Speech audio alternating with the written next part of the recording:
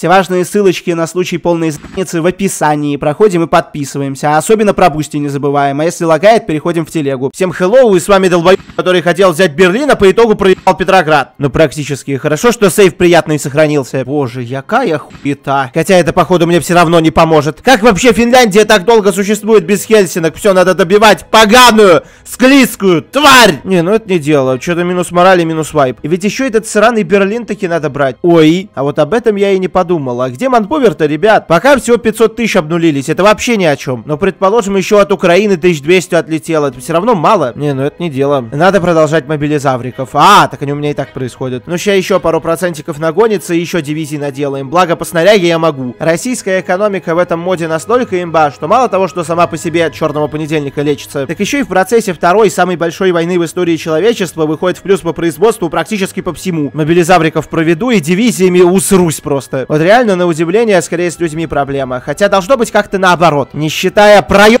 столицы, все очень даже хорошо идет. Ребята, я не понимаю, это уже какой-то психодел и фантасмагория. Там, где раньше были несуществующие белорусы, теперь солдаты в Улье Новой Англии, но в Новой Англии нету никакого Улья. Ого, угу, вот так, да? Ну, практически попали, только это не Улья и не Новой и не Англии. Хотя уже получше, чем с Южноитальянской Украинской Социалистической Республикой. Злобные магические хуегномики феи чудят. Так, и сколько рейхспактовцев нащелкаем после закрытия польского котла? А давай побольше. 5 миллионов потерь уже. А когда? Кто? Я? Чё? Япония 700 тысяч? Больше, чем Россия и Франция? Ты чё там учудил, дурачок? Ну ты индеец. 700 тысяч на Тихом океане. Обычно они там просирают пару дивизий и сразу же убегают, обоссавшись и обрумынившись. В этот раз решили держать колонии, но походу лучше бы все-таки съесть в ужасе. Ура! Я не проебал столицу. Гол! Со сфинктером пора заканчивать. Они обнаглели совсем. До сих пор твари Керчь удерживают. Сколько времени уже прошло? Съебались отсюда. О-хо-хо-хо! Сюда. Моя стратегия штурмовать Берлин только когда будет нормальное снабжение с юга странно себя повела. Нормального снабжения нет, а вот Берлин сейчас походу будет. А там авось Рейхспакт схлопнется и не придется по финским горам и весям до последней деревни скакать. Они, может, и меньше остальных дивизиями насрали, но гораздо неприятнее, как бы это ни прозвучало. Бам! Иди гуляй, дядь, где-нибудь в Шницель-Африке. Дальше уже можно и на автоплане идти, чтобы больше очков, чем коммуняки успеть загробастать. Вот и помер дед Вильгельм. А, да как вы меня все заехали-то, а? Австрийцы, вы бы хотя бы предупредили перед тем, как войну объявлять, а то теперь черти как немцы. Вообще, если бы не вот этот фокус, который оказался неожиданно пропущен, я бы еще полмесяца внутри игровых не понимал, что тут вообще происходит. Не, ну этих, конечно, тоже надо было за Первую мировую наказывать, но в какой-то более расслабляющей и умиротворенной обстановке. Мир агрессивных уродов просто нападают и нападают на меня. За что? Я никому никакого зла не совершил. Между прочим, обидно. Не дают спокойной мирной стране мирно развиваться, столицу забирают, гады, сволочи, твари, ненавижу вас. А мне-то, между прочим, обидно. Такое крысятничество Германии все равно уже не поможет. Мы выходим на оперативное раздолье, там пропушиваем еще немножко котелков и все. Гады вы все, не хочу я больше с вами играться. Я удивлен, а что это на территории немцев такое хреновое снабжение? У них же Уорднунг, Уорднунг, все вот это вот говно. Даже на украинском фронте с этим попроще было. Это сейчас самая большая проблема так-то, даже больше, чем армия противника. Опять все печально как-то, как под Берлином. Еще австрийцы дивизии подвели, они вам скоро непосредственно в Австрии понадобятся, ребята. А ну-ка,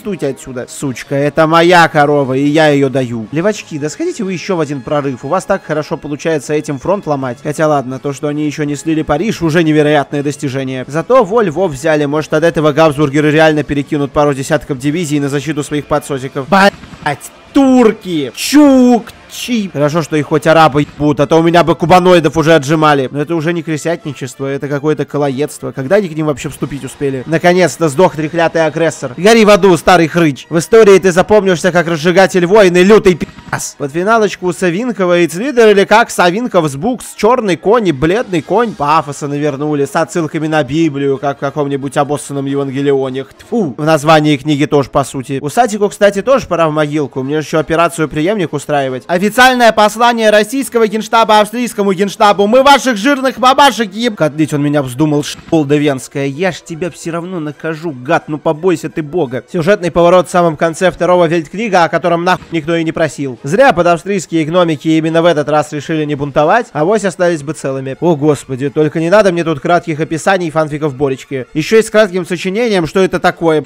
как будто кто-то к ЕГЭ готовится. И без этого все непросто. Щищ. Австрийцы действительно поняли, что у них-то нет особых сил поддерживать Германию, и себя бы поддержать. Отвели часть войск, а я этим своевременно воспользовался. Все, минус рейхспакт. Давай, падла, ты меня уже подбешиваешь. Все-таки в очередной раз быдло получило по заслугам. И даже не только от меня. Мощный засос двух кайзеров только продлил их агонию. И отнял у меня кучу артиллерии. Все-таки в чем-то я в минус таки ушел. Но это ненадолго, заводов хватает. А эти двое, походу, примерно одновременно в ад отправятся. Милитаристы, анархисты, импотенты с левой резьбой. О, господи, ты-то тут как появился, брателла? Походу, очень вовремя переворот учинил. Вообще, в ивентах про книжки как бы описывается идеология главного российского национального чувачка, преобразовавшаяся в ходе сначала революции, потом контрреволюции, потом контр-контрреволюции против контрреволюции, потом еще революции и так далее, по принципу голландского штурвала. Очень ему обидно, что там русские побеждали русских, хотя ну как, с одной стороны немецкая армия, с другой стороны половину евреев, но ладно, посчитаем, что русские. В общем, надоело ему, что соотечественники убивают друг друга, и лучше вместо этого пусть будут убивать всех остальных. Вот и вкратце весь свинковизм в схемах и мемах. Вот такой вот у нас спаситель Святой Руси и богоизбранного народа, тот, который русский. Германский кайзер таки продержался на удивление дольше австрийского. О, и пролива я себе забираю. Ммм, вкусный обед. И Австрию тоже, хоть ее чисто коммуняки дожимали. Непокорные чехи почему-то с венграми не сдались, но им же было бы лучше, если бы сдались. И наконец-то можно додика миноров к себе в союз звать. Погодите, а почему не люмины? Пока только Хорватия, точнее то, что от нее осталось. После первой и второй перерывчик небольшой. Ау! Ну вот удачи вам понападать на мирные страны. Это было не так уж и долго и не так уж и сложно, честно говоря. Практически блицкрик. Блин, все-таки все забрать нельзя. Ну давайте тогда поаккуратненькому. Или заберу. Гой? Гой? Гой? Да, Гой. И корабли тоже плывут к папочке. Мне все-таки еще в Комбританию высаживаться. Братушки?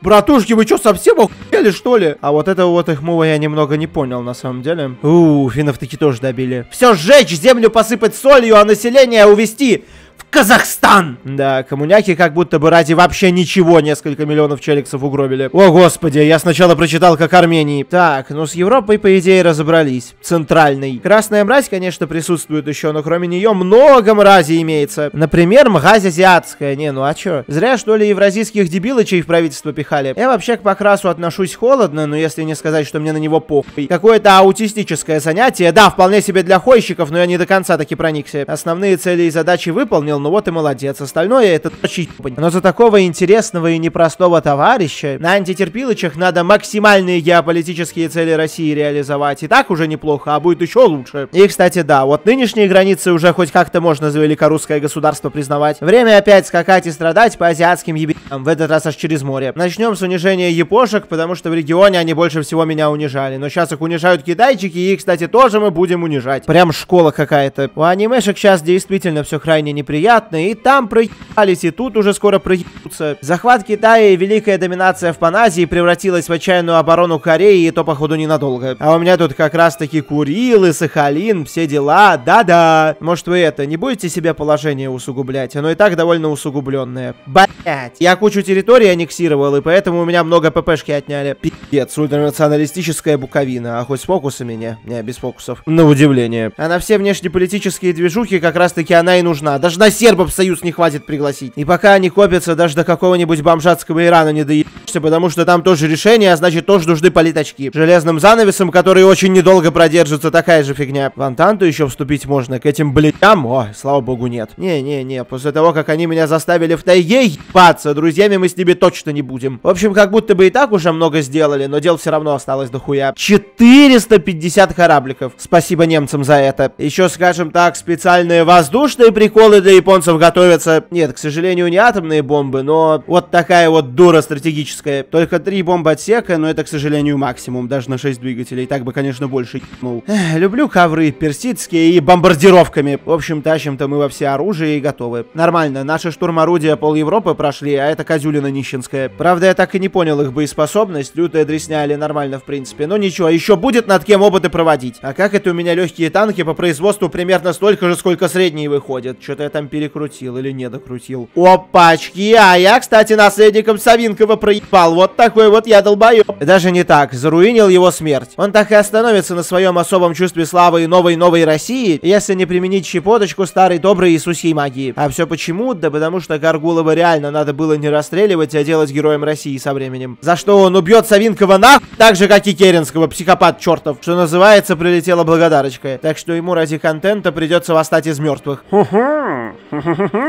Так у интернационалистов с антантниками остался полноценный фронт, на котором они сейчас будут долбиться, еще и в пустыне без нормального снабжения. Добренько, добренько. И то, что Антанта там издыхает, и интернационалисты. Ой, бля, хуйка. Хуйка, брат, не надо, не вздумай. Я помню, что в игре за проебатику меня спасла только высадка американских лангистов в Питер. А вот сейчас повторение этих событий мне бы не особо хотелось. Хотя ладно, не стоит бояться. Что такое Америка без негров? Да ничего. Ну и мне стоит поторапливаться. Да, да, да. Ну убил он прошлого президента и убил. Это что, повод человека расстреливать, что ли?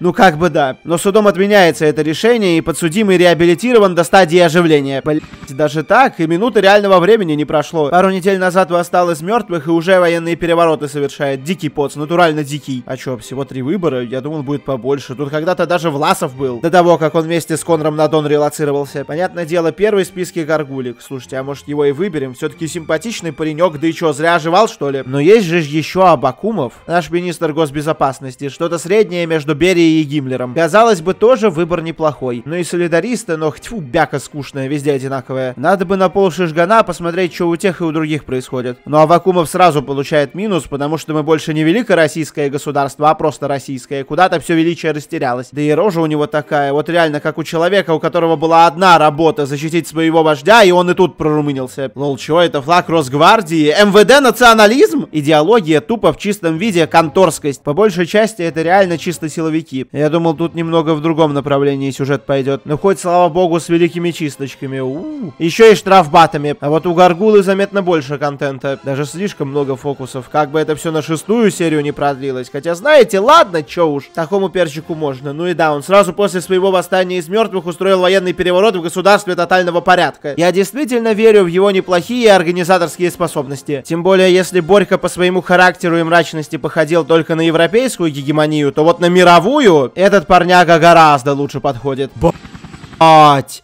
Он кубаноид! Люди, люди, бегите! Спасайтесь, уезжайте в Америку, куда угодно! Вам всем да. Это не Гитлер, это не Полпот, это что-то на совершенно новом уровне ужаса. Наступает новый, истинно проклятый мировой порядок. Ой, прямо с первого фокуса мотыги фигурируют. Скорее всего, использованы они будут так же, как у кое-кого ранее упомянутого. Чтобы не тратить патроны как средство массового умершления врагов государства. Истинные русские. Это вот это вот кубаноидская харя, что ли? Аграрии, да, я понимаю, это звучит не очень ужасно, но на самом деле довольно-таки ужасно. Короче, русский Теодор Качинский захватил самую большую и самую сильную державу планеты. Тривайтесь, хлопцы! Россия... Ой, да что там Россия? Весь мир уже не станет прежним. Обратного пути нет. У нас уже был обычный вождь, в оригинале красный вождь, в ТНО на Амуре был синий вождь, а теперь время зеленого вождя. Сука, прям какой-то светофор. И так была всеохватывающая диктатура, а теперь уже какая-то околокультистская хуйня началась. Флаг-то какой. Где-то я этот символ уже видел. На самом деле я Гаргулова выбрал по большей части, потому что у него национал-популизм окрашен особым зеленым цветом, и потому что за него на бусте проголосовали. Кстати, подписывайтесь на бусте, ссылочка в описании. Ух ты, ёк, макарек. Зеленые около полпотовцы реально начинают деиндустриализацию. Кто бы мог подумать? Ну, точно не я.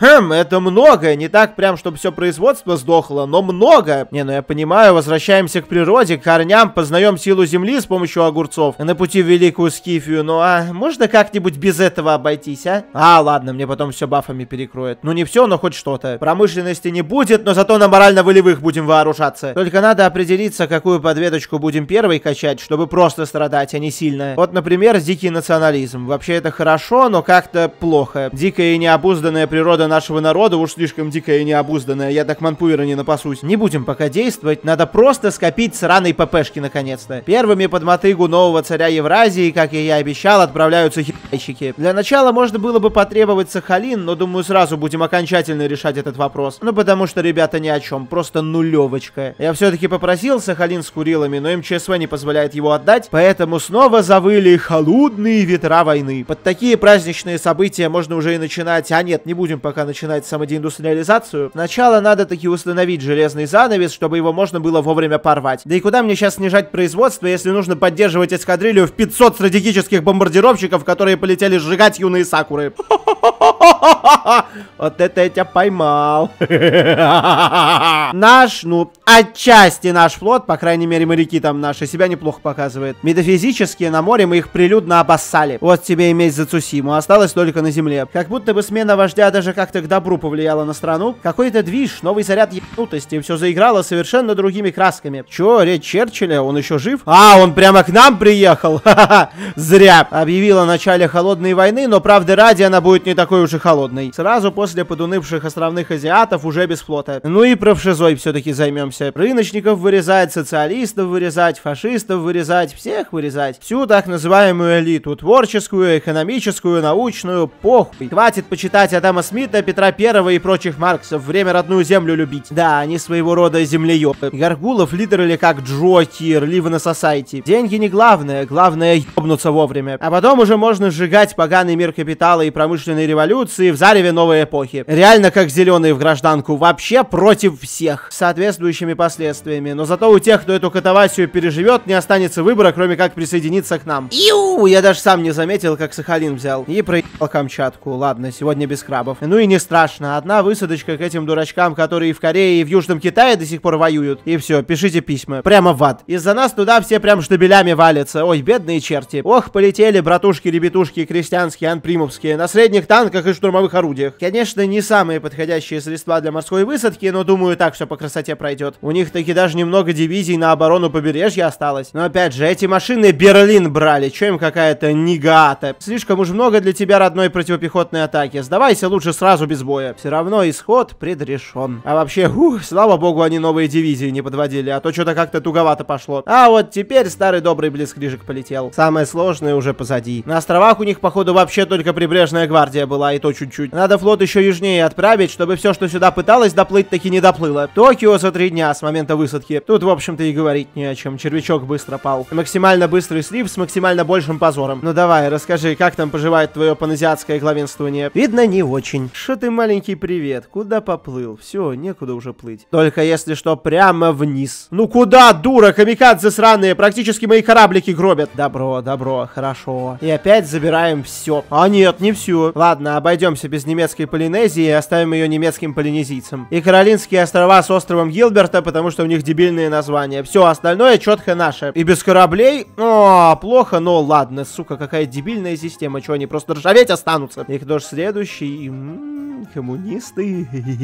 Тру-ту-ту тра-та-та. Как будто бы пора, а то еще раскачаются сейчас, Манпувера наберут, а нам этого вообще не надо. Да и пора бы уже вернуть азербайджанские нефтяные месторождения в родную гавань. О, господи. Правитель радикально-националистического Тайваня это я без маски. Опа! Оба! Братушки опять против меня войну готовили, но я их успел вразумить, и они теперь официально в списке моих подсосочей. Вот теперь уже точно вторую, точнее третью мировую войну можно начинать. Тем более дебафы ответки Гаргулова закончились, и наконец-то пойдут бафы. Орда древних скуфов, скифов выдвигается на позиции. И больше мяса, больше. 5 миллионов это все еще мало. Не! Заодно и немцам поможем отомстить. Ну, хоть кому-то. Че там у них по авиации? У, все просто прекрасно, но я забыл к Азербайджану войска подвести. Благо дивизиями так насрано, что уже не проблема какую-нибудь заштатную армейку на Кавказ отправить. О, а вот это сильно. А хотя не то, чтобы я большего Манпуэра ожидал. Ля, бешеный Волонец тоже наш дружище, от этого отдельно приятно. Ура, гол, гол, я уже забивался забивать за эту игру. Холодновойный вечер перестает быть томным. Ну давайте, у немцев получилось, еще бы у нас не получится. Да, да, да, на Париж! Ой, блядь, на нас из Люксембурга контр наступают, это серьезная угроза. А ну-ка быстро кто-нибудь ликвидировать прорыв, только не надо мне вот этого тут сейчас. Разговор ни о чем и ни для чего этот ваш интернационал. Удивительно, как у них еще получалось немцев пропушивать. От двух до четырех засценных пехотных дивизий на клетку, но это даже как-то неуважительно. Казуалище ебаное, воюй лучше, я хочу хоть какой-то сложности. Ну какой же ни о чем, и все из-за гнилой промышленности, которая ослабила их боевой дух. Задохлики работяги, вы слишком уж понадеялись на свою технику. особенно учитывая, что ее так мало. Наши раскачанные чат-пахари одной левой вас засеивают под землю, как семена весной. Мотыга их так, и минус танк, хотя их и так, в принципе, нет. Унылые заводские сученьки. Даже избивать не так уж и весело. Хотя шучу, весело.